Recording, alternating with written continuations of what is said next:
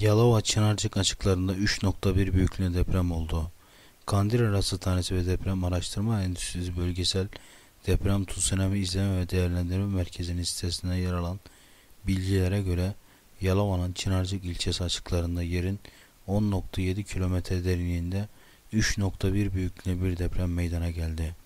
Depremde herhangi bir can ve mal kaybının olmadığı bildirildi. Buradan, buradan herkese geçmiş olsun dileklerimi iletiyorum. Lütfen siz de görüşlerinizi yorum kısmında belirtmeyi unutmayın. Kanala abone olursanız şimdiden teşekkürler.